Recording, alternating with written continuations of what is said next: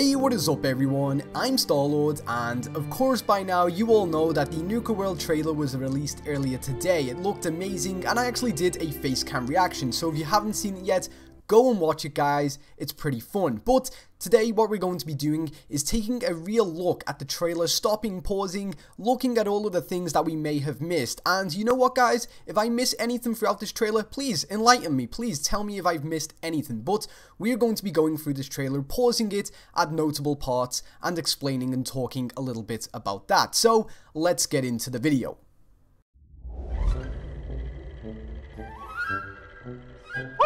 Nuka World, America's favorite vacation destination.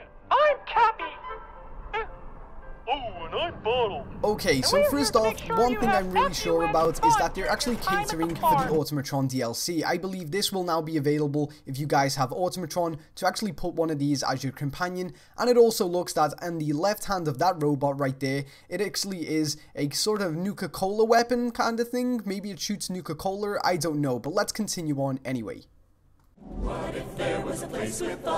And if we pause the video right here, we can see that in the background there is an old frame returning. Yes, that is actually the Nuka-Cola Victory, which never actually showed up in the game until now, so I'm pretty excited to get my hands on that. But besides that, we can actually see that there is animated mannequins in this game, and it is actually sporting a very casual looking top which has the Nuka-Cola logo on it, and hopefully we do get to actually put that on our characters, as casual clothing is very limited in this game, so let's hope for that. Wouldn't that be the cheer, cheer, cheeriest place in all the world, where the river's made of Okay, so there wasn't much with that roller coaster scene, but here at the World of Refreshments, we paused it right here because in Fallout 3, whether you played it or not, there was actually an enemy in it called Nukalurk, and you could find them in the Nuka-Cola factory. And what happened is basically they'd been living in Nuka-Cola, I guess, Quantum for a while, and yeah, this kind of looks like the case right here because they used to glow a bright blue, and the color kind of looks like a bit of a darky, kind of murky blue, I guess, but hopefully we do see a return of that. And the mountaintops are fizz with fun. So this next picture, I am really sorry about the blurriness guys, I just couldn't get a good frame where it was actually still and frozen, but if we do look in our hand right now, we do see that there is a new melee weapon as well as a knife to the left, but mainly I wanted to focus on the melee weapon that is definitely going to be in the game for you to use because this DLC is going to be filled with fun. And I think maybe you just have to complete certain like little I guess arcade machines to unlock certain weapons. That would be a pretty nice way to go about it. But either way I believe that we will see this melee weapon in the game.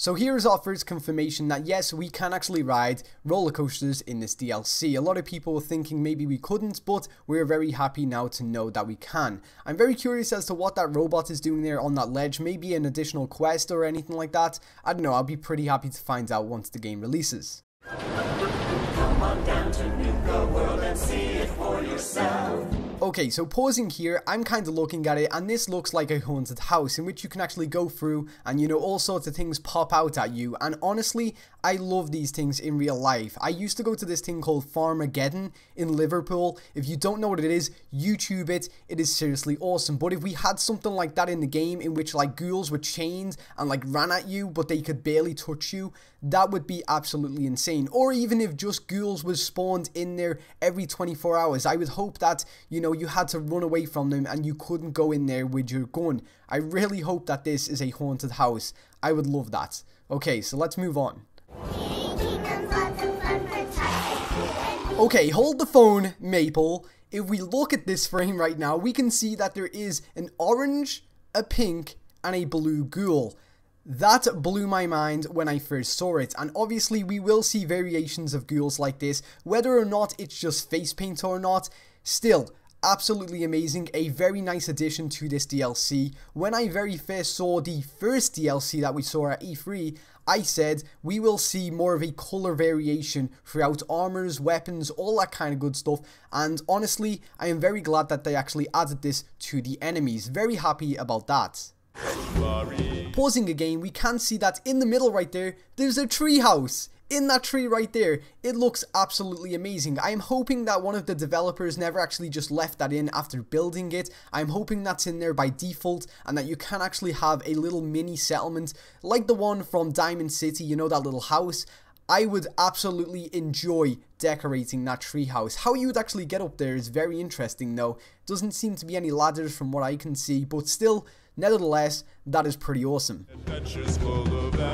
Now get ready for a lot of pause breaks as this it gets really interesting. Here you can see everybody kind of assumed it would be a lizard I am definitely swaying more to a crocodile. I know that sounds insane, but you know, it's not unusual for, you know, the developers of Fallout to kind of go all mix and match. And honestly, that looks absolutely amazing. If I could choose either a Deathclaw or whatever the fuck that is, I would definitely choose that any day. That looks absolutely insane. I cannot wait to create a companion mod for the Xbox PC and hopefully the PS4 when that comes out. Insane. Once again, another new animal. Of course, we know there's going to be tons of new enemies and animals in this DLC, but I'm pretty happy that they've actually put a bit of a hostile twist on the regular cows. I'm very interested to find out what they call this thing. I would probably just call it a Rad Bull, I guess, but it sounds too much like Red Bull. But yeah, pretty interesting. Again, back on that robot thing, we obviously can see that there are new attachments for these robots, as well as, you know, the Nuka-Cola kind of body set. But I wasn't looking at that when I saw this frame. I actually looked at the background. We can see that it is a cinema. And it does actually say the deep of Earth's unexplored oceans. That kind of makes no sense the deep of Earth's unexplored uh, oceans. Now, we cannot see what the top line says, but I am very much hoping that maybe they may have a little bit of a nod to the ghoul whale that we never seen in Far Harbor's DLC, as a lot of people was actually very disappointed that we never got to see that. So hopefully if we press play on that movie, hopefully we may get to see something like that or you know we'll kind of have more information about the sea creatures that will be in this DLC such as that crocodile I mentioned earlier so let's uh, let's get on So two things we're actually seeing here that is new to the game. First of all is the weapon, but I will get onto that in a second. Look at the teeth on that creature. What the hell is that? Honestly, I don't even have words for what creature that has been mutated from. I really do not. But obviously, we will find this in the kind of Wild West part of the park. I really, really do not want to play this game live streaming with my headphones on when that shit pops out at me because I will shit myself on the live stream. That looks insane. I am very happy that they've actually made something pretty scary that pops up out of the ground. You know, the mole rats pop out of the ground, the rad scorpions pop out the ground, but they're not really that scary. Now this is a scary creature. Very happy to see what that is. And again, talking about this weapon that we have right here, we can see that it is some kind of serum that we have to shoot it with. I'm guessing maybe a sleeper or something like that, but we already have those kind of things in this game. So again, I cannot really speculate on that obviously there is a vial on the side of it and you know there is some kind of liquid in there we just have to kind of wait and see what that is also i don't really know yet but the gloves on our character's hand right there i don't even remember if gloves are a thing in the game or not but it kind of looks like they will be at least with that outfit or in the new dlc so I'm pretty interested to find out about that. If you guys know if there were gloves in the game before this, please tell me, I would like to know. So unless you've been hiding under a rock, you would know that this DLC focuses on raiders. You actually will be teaming up with a group of raiders. Now, you can see that there is new armors and items that those raiders have on, which we obviously will be able to equip ourselves. And looking at the woman on the right, the very nice looking woman for a video game character, I've got to be honest. She looks very interesting, very high detailed, and obviously with companions, normally people who are main in the game have a little bit more of an extra touch to them. I'm hoping that she is one of the new companions that got leaked in the Vault-Tec Workshop DLC files. And to be honest, those bullets around her stomach look really, really fucking cool. Also, I did notice in the back right there, if you just look on the wall, I guess, there is a kind of logo. I thought it kind of looked like a Deathclaw's face with its, you know, its horns, but I guess not. Maybe that is their logo for this faction. So, yeah, all will tell. Sorry, but pausing again, we can see that the woman on the right is wearing some kind of chain around her neck or some kind of electrical device that is blinking red. Now, definitely that is sort of a tracker or an explosive because that woman must definitely be a slave. When I first saw the first DLC, I said slavery will definitely exist in this DLC and yeah, it kind of looks that way from this still shot right here. Hello assault rifle, my old friend. Yes, that is right guys, the assault rifle does make a comeback in this DLC. Very early on, people found that in the in-game base files for Fallout 4, the assault rifle was actually a model in the files and everyone was wondering why it got caught. Obviously, we know why now. They are actually including it in this DLC. Very happy about that. Looking at the settlement aspect of this DLC, we can see that there is going to be new items which will mainly focus around decorations. And you know what? I'm not actually mad about that. I would love to place some of that stuff around my settlement. Definitely cannot wait to get my hands on that. Again, like I said earlier on, there will be a lot of novelty in this DLC, and yes, that is the case with this electrified paddle ball. It actually doesn't do that much damage, it does 10 electricity damage, and it does seem that you actually need bullets for this, as if I went back a couple of frames, I could actually see it had the little bullet mark and it had 100 next to it, so I'm not really sure what the hell that was all about, but still, I cannot wait to get my hands on that. I am very much a melee weapon kind of guy. I will love electrocuting Marcy Long with that. Although I have frame phrased here, there is a lot to talk about about the last couple of frames. So we actually saw that the assault rifle that we now have is half-assedly painted. So basically someone's just slapped a lot of different random colored paint onto the weapon, which I did call a little while ago. I said we will have a lot of customization with these weapons in which we can actually color them very different. Again, moving on, we saw a lot of the raiders that we now lead going to Sanctuary, and they actually have taken over Sanctuary, you know, so hopefully they don't attack your current people. I don't really think they will, but again, moving on a little bit more to the picture that we have freeze frames on right now, we can see that the new face mask is like a kind of crow looking thing. We can see that that Raider's hair is pink, so I'm hoping that maybe we do get a little bit more customization on the colors that we actually put on ourselves. Again, if you look to the uh, right of that lady right there, we will see a new lady with green hair, and she actually has a clown nose with clown face paint, if I believe.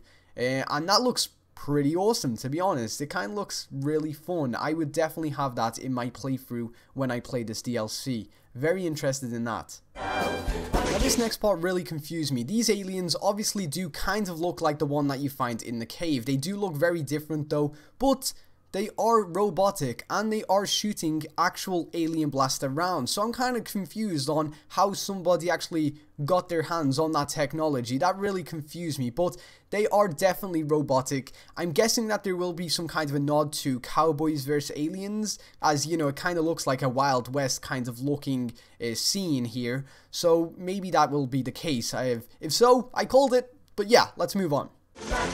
So I didn't really know what to think of this frame. I actually was very confused. The, obviously the armor looks very cool. I cannot really tell if there is somebody in that or it's just a robot. But if we do notice that it does have a bit of a pole at its back, if you can see that there is a pole on its back, just like those bumper cars right there, hence how he's getting all of the electricity through that suit. I kind of want to speculate that maybe that is your initiation test into actually becoming the leader of the Raiders. You know, you're not just going to go in there and be the Raider leader automatically. You're going to have to defeat a couple of people. So I'm assuming that is one of many. As I said earlier, another new animal that we see in this DLC, I'm assuming that it's a grasshopper. Looks very fierce, very fast. Cannot wait to go up against it. But again, looking at the gloves, there is again a new set of gloves. And also to the right, we have a new kind of knife. That looks pretty cool, I'm not gonna lie. I love my melee weapons, so yeah, that looks very sharp, very cool. Moving on. Sorry about the quick pause guys, but again, looking at this guy right here, he is a ghoul, which will speculate that there will not just be humans as raiders, there could be ghouls, super mutants in this DLC who have joined the raiders. And obviously this guy disappears, he will probably be pretty big in the storyline. Not really much else to say there, but we do have another pause coming up. There is nothing more than what I hate in this game than the flying creatures. They are absolutely horrible to try and kill and obviously there is now hornets in the game. I'm saying these are hornets or maybe flying ants I guess because you know the nests in the background right there it kind of looks like they will only be in, in like large groups maybe. They will be very deadly even though they kind of look like pussies they will be very deadly very fierce so I'm not looking forward to them at all.